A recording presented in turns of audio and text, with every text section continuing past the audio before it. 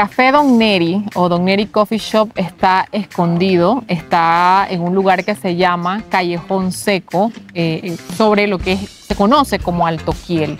Bueno, no se pierdan también la entrevista con el dueño de Coffee Shop Don Neri, Gabriel Castillo, y va a estar hablando todo acerca de este lugar.